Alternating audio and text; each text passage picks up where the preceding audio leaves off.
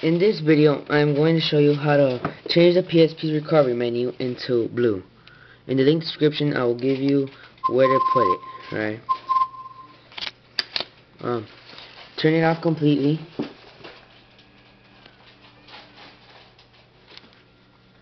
Alright, turn it on again, but this time hold R while it's turning on.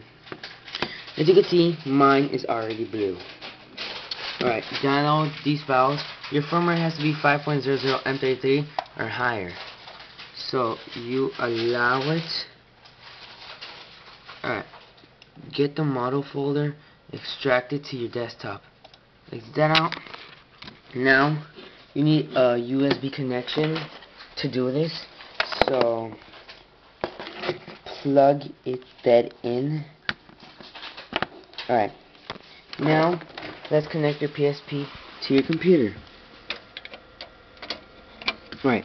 First, go to your recovery menu by turning it off completely, turn it on, hold on. And now I want you to go to advanced and now toggle USB flash 0 and press X and then something should come up in your computer. Alright? You open your folder to view files and there you see five folders.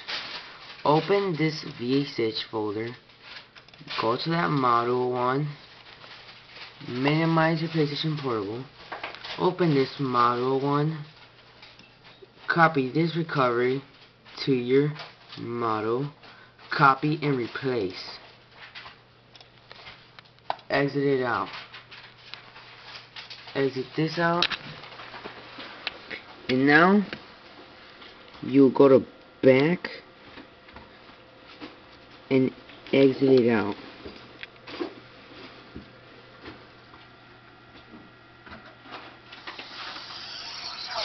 PlayStation Portable.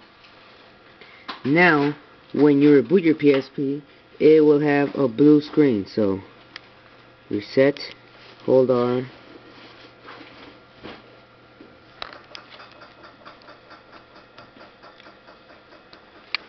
Thanks.